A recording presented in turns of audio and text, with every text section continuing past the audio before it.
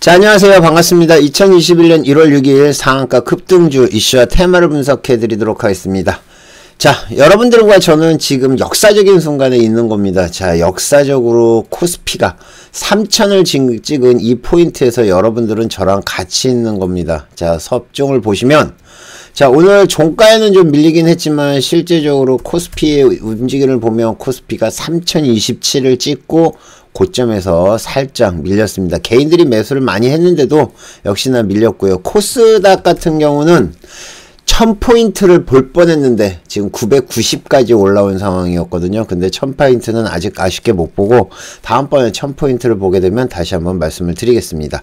자 오늘도 종목들의 움직임은 상당히 빨리 움직였고 상당히 상승세가 컸습니다. 오늘은 저희 방에서 처음에 상승을 할 때 발견한 종목들이 꽤 많아요. TLB, 아미노로직스, 서린바이오, 그 다음에 동성제약, 그 다음에 그린 케미칼, 현대약품, 위지트, 키네마스터 이런 종목들이 다 지금 저희 방에서 초입 그러니까 처음 상승할 때 말씀을 드렸던 종목이고 그 종목들이 상승세를 이어가서 움직임이 나온 종목들입니다. 이 종목들의 무슨 이유가 있어서 올라왔는지 그리고 앞으로 어떻게 움직일 건지까지 한번 보면서 설명해 드리도록 하겠습니다.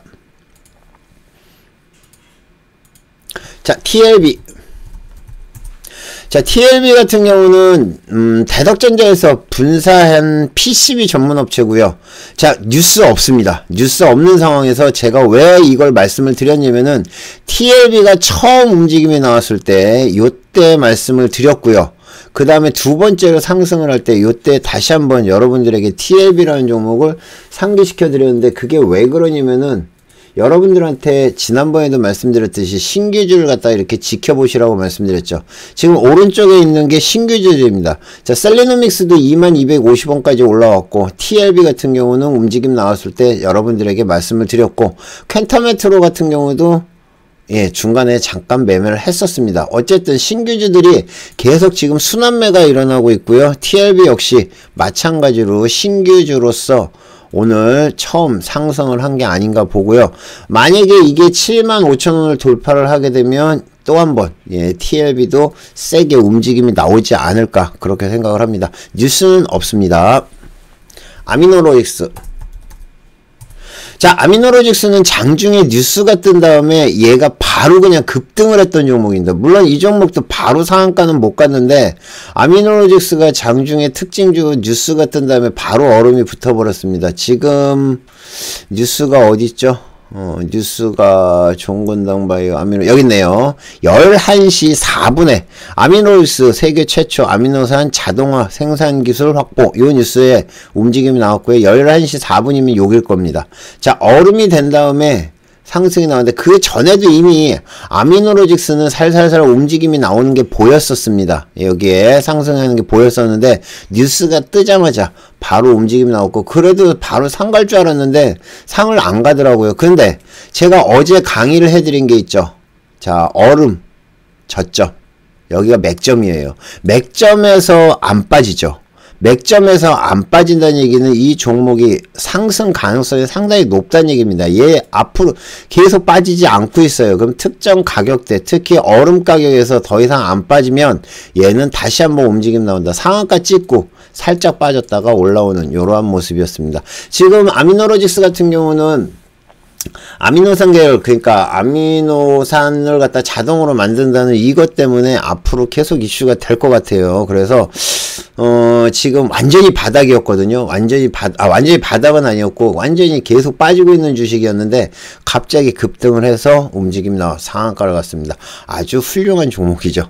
여러분들도 이런 종목을 보실 거면 방송을 들으시면 이런 종목을 다 잡으실 수 있습니다. 아시겠죠? 어, 제 방송으로 오세요. 방송으로 오시면 여러분들도 이런 걸 보실 수 있고 방송 링크는 지금 나와 있는 동영상 하단에 보면 링크가 나와 있습니다. 그 링크를 보시고 그쪽으로 따라 들어오시면 되지 않을까 생각합니다. 아시겠죠? 삼성제약. 삼성제약은 제가 어제도 말씀드렸듯이 이 종목 강할 거라고 말씀을 드렸어요. 왜 그러냐면은 이 종목이 강할 거란 이유는 이걸 보면 알 수 있습니다. 여기 올라오는 이 각도 있죠. 여기서 지금 어저께 어저께 움직임이 나온 이 각도를 보시면 자 상한가를 만드는 이 각도를 보시면 어마무시하죠. 얘가 지금 움직임이 점진적으로 움직임이 나오다가 예, 여기서 그냥 바로 이렇게 올려버렸습니다. 그쵸? 이 정도 각도면 상당히 큰 각도고요. 그 각도를 이어받아서 지금 보시는 것처럼 처음에 아 오늘은 상한가 갔다가 살짝 눌러줬어요. 눌러주기까지 하네요. 어쨌든 지금 계속 움직임이 나오고 있고 과열 종목이기 때문에 30분마다가 거래가 돼요. 30분마다 거래가 되는데 얘도 얼마나 갈지 모르겠습니다. 지금 어 우리가 보고 있는 종목 중에서 박셀바이오가 지금 이렇게 날아가고 있죠. 박셀바이오가 지금 내일서부터 단일가예요. 단일가로 시작이 되는데 오늘은 거래정지고요. 제가 어제 실수를 했었는데 제가 그 공시를 못 봤어요. 그래서 오늘 어, 박살바이오가 이제 거래 정지가 되고 내일서부터 단일가로 거래가 되는데 이 종목도 어떻게 갈지 모르겠지만은 어, 지금 현대약품 아니 저희 삼성제약 같은 경우도 지금 움직임이 장난이 아닙니다. 이거 조금 더 갈 것 같아요. 그래서 요것도 잘 지켜보시기 바랍니다. 아시겠죠? 자, 다음 서린바이오. 서린바이오 제가 처음에 여러분들에게 말씀드린 종목이 서린바이오였습니다. 자, 종목이 여기서 수급이 들어올 때, 여기서 수급이 들어올 때 처음 서린바이오가 이상한 움직임이 나오고 수급이 들어온다고 말씀을 드렸는데, 얘네가 움직임이 나오다가 그냥 죽여버리더라고요. 죽여버린 다음에 뉴스가 떴습니다. 장중에 뉴스가 떴고요. 서린바이오가 뉴스가 뜬 다음에, 어, 어, 여기 있죠. 2시 10분에 뉴스가 뜬 다음에 얘가 바로 알려드렸어요. 이게 2시 10분일 겁니다. 그러면 제가 여러분들에게 먼저 서린바이오가 수급이 들어오면서 움직임이 나온다고 말씀을 드렸던 포인트는 여기였고요. 얘가 잠시 올라왔다가 다시 빠졌다가 여기서 다시 수 뉴스가 뜨면서 급등을 했습니다. 지금 보시는 것처럼 제가 리딩클럽에도 여기에 11분 얼음이 된 다음에 다시 한번 설명을 해드렸어요. 이거는 되게 중요한 거다. 그래서 서린바이오가 mRNA mRNA 백신 개발 그 다음에 어, 합성 서비스 공급 중이다. 뭐, 요런 걸 갖다가 제 리딩 클럽에 올려드린 거예요. 그러면 여러분들이 이런 거는 단타, 손절을 잡고 단타를 들어가시면 되는 겁니다. 아시겠죠? 자, 여기서 그냥 바로 살짝 밀어주고 상한가까지. 엄청나게 강한 이슈라고 말씀을 드렸기 때문에 매매를 하신 분도 많고 상한가를 먹으신 분도 있을 거예요. 여러분들이 요런 거는 그냥 수익을 내시면 되는 겁니다. 아시겠죠? 충분히 먹을 만큼 움직임이 나왔던 거 기억하시면 되지 않을까 생각합니다. 아시겠죠? 코이즈.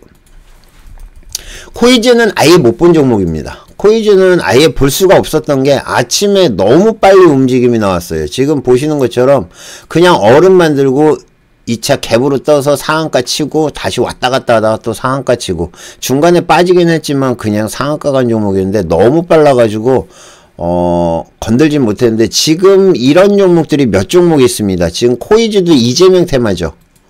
예, 코이즈도 이재명 테마랍니다. 이재명 예, 이재명 테마로 해가지고 움직인 종목이 코이즈 있고요. 그 다음에 예, 코이즈는 LCD 보호 필름 광학 코팅 업체인데 지금 이재명 테마로 올랐고 그 다음에 제일 먼저 올라온 게 수산 INT일 겁니다.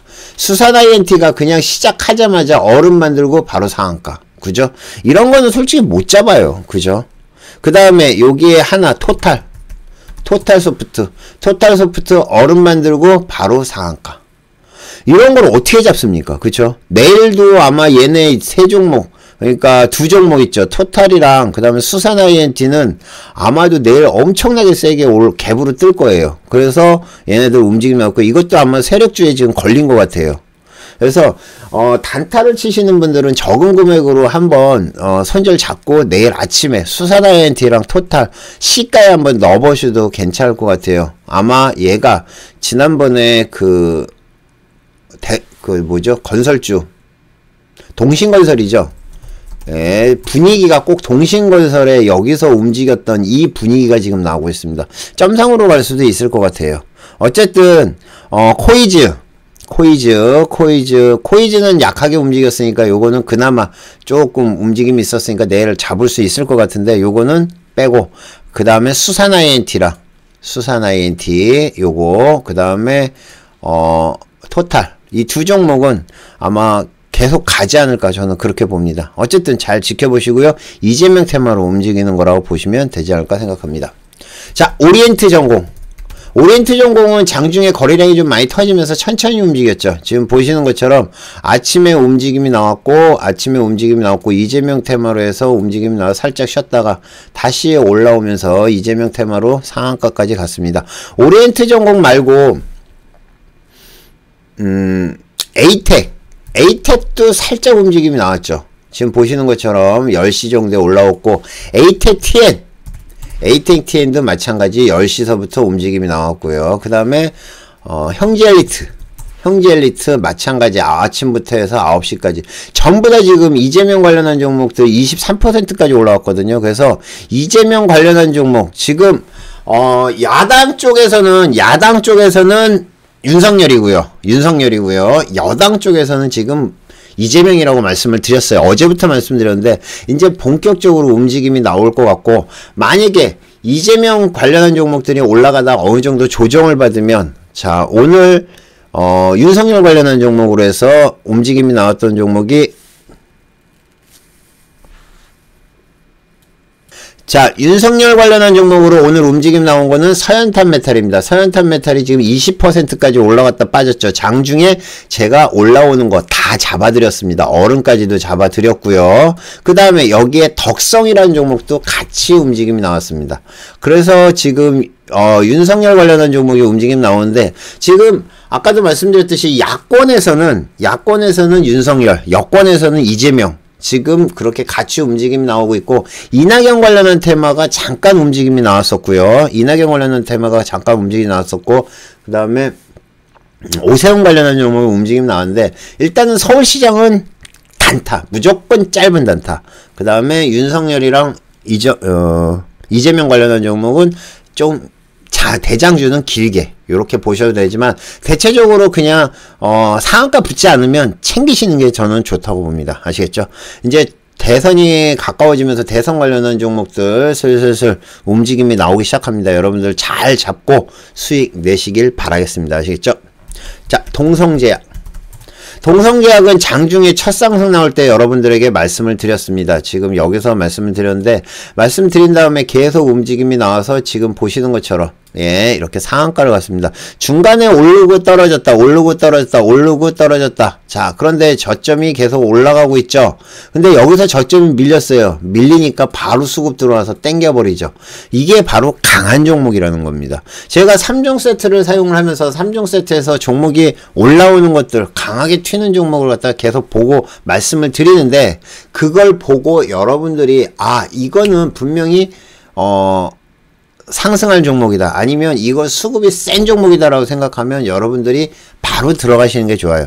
보고 들어가는 것보다 들어갔다 밀리면 컷하는 그거에 참 좋은 매매법인데 여러분들은 빠른 매매를 못하기 때문에 그런 건 조금 아쉬운데 만약에 내가 단타를 좀 배우고 싶다. 그러면 운영팀장님께 아 네, 단일가 매매, 아니, 단일가 매매가 아니라 3종 세트. 예, 3종 세트를 갖다 배우겠다고 해보십시오. 물론, 가격이 저렴하진 않아요. 유료 서비스고요. 그렇지만 여러분들이 한번 잘 배워두면 평생 써먹을 수 있는 매매법이 될 수도 있습니다. 아시겠죠? 자, 3종 세트 매매법입니다. 잘 기억하시고요. 어, 단타가 필요하신 분들 있죠? 그런 분들은 한 번 정도는 배워두시면 아마 단타를 갖다 이보다 더 잘 빠르게 칠 수는 없을 겁니다. 아시겠죠?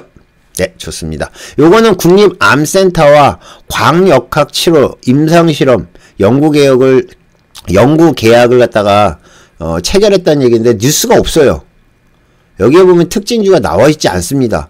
특징주가 안 나와 있기 때문에 이런 거는 수급만 보고 들어가는 순간 아 여기 있네요. 1시 14분에 나왔네요. 그쵸?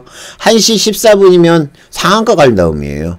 그러니까 여기서 수급이 들어오는 걸 갖다가 여러분들이 미리 알았다 그러면 매수를 하겠지만은 이미 이 뉴스는 1시 14분에 상한가에서 나와 버렸어요. 그럼 어떻게 할 건데? 그러니까 수급을 잘 보셔야 되고요. 제가 어, 리딩 클럽에 오면 수급 매매를 갖다가 설명을 해드리고 있거든요. 그러니까 수급을 잘 보고 여러분들이 잘 따라오시면 이런 것도 충분히 먹을 수 있다 말씀드리겠습니다. 그린 케미컬 자, 그린 케미컬은 온실가스 대표 종목이에요. 오늘 장중에 저도 움직임이 나오는 거 보고 말씀드렸고요. 수급이 확 들어왔죠, 지금. 1시부터 들어오기 시작해가지고 지금 올라왔다가 살짝 빠졌다가 다시 올라왔고 상한가까지 갔는데 요거랑 같이 움직임 나오는 게 KC코트렐. KC코트렐 같이 움직임이 나왔고요. 5장엔 약했고 한솔홈데코 한솔홈데코는 시간으로도 올라오는 것 같더라고요. 한솔홈데코도 움직임 나왔고 장 막판에 움직임이 나왔던 종목입니다. 전부 다 탄소 배출권 관련한 종목이고요. 그린 케미칼이 탄소 배출권 대장으로 보시면 될 것 같습니다. 아시겠죠? 제난바이오 제난바이오는 장중에 보긴 했는데 매매를 못했어요. 얘가 내가 매매 보려고 하면 떨어지고 예, 보려고 하면 떨어지고 보려고 그러면 떨어지고 보려고 그러면 떨어져서 재난바이오는 매매를 못했지만 유상증자 철회 속에 주당 0.5주 배정 무상증자 결정으로 해서 올라왔답니다.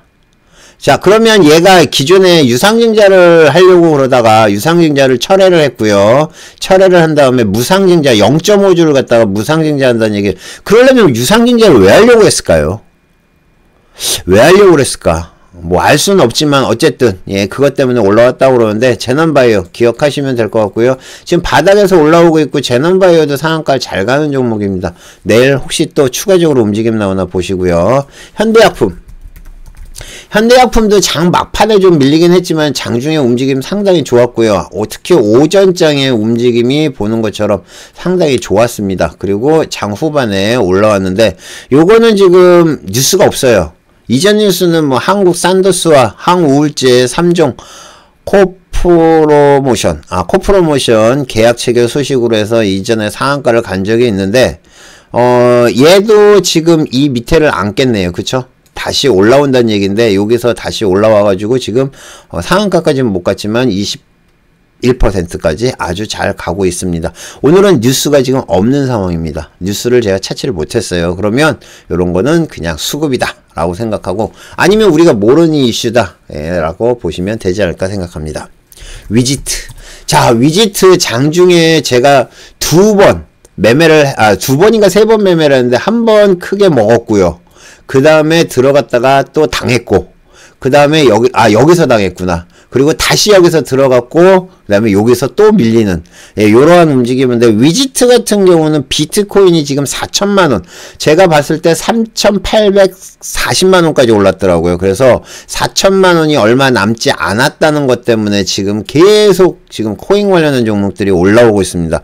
코인 관련한 종목들 지난번에 제가 설명을 해드렸죠 코인 관련한 종목 위지트 우리기술 투자 일단 이 종목 비덴트까지 이렇게 보시면 되는데 위지트가 지금 대장 역할을 하고 있고요. 21% 우리기술 투자. 우리기술 투자는 아침에 제가 매수 신호를 드렸다가 안 움직여서 정리했는데 얘도 지금 10% 올랐고 비덴트까지 예, 항상 요렇게 종목을 보시면 되는데 역시나 그냥 한 종목만 보시려면 대장 위지트만 보시면 되지 않을까 보고요. 내일 4천만 원 돌파 하나 보세요. 4천만 원 돌파하면 아침부터 또 움직임 나올 겁니다. 아시겠죠?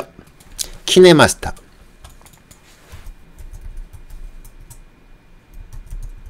자, 키네마스터는 경영권 매각으로 해서 움직임이 나오는 거고, 장중에 제가 이거 세게 간다고 말씀드렸어요. 그죠? 키네마스터는 한 번 튀면 얘는 좀 가는 종목이에요. 저는 솔직히 키네마스터 상갈 줄 알았습니다. 근데 지금 28%에서 상행 근처에서 무너져 버려 가지고 좀 실망스럽긴 한데, 어쨌든 키네마스터 매각 관련한 얘기 나오면서 지금 보시면 엄청나게 올랐습니다.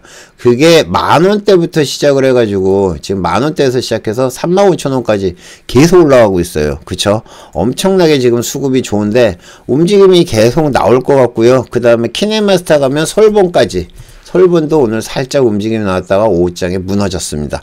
자, 9%까지 올라왔죠. 이러한 종목들 여러분들이 잘 보시면 충분히 먹을 게 나온다고 보시면 될 것 같고요.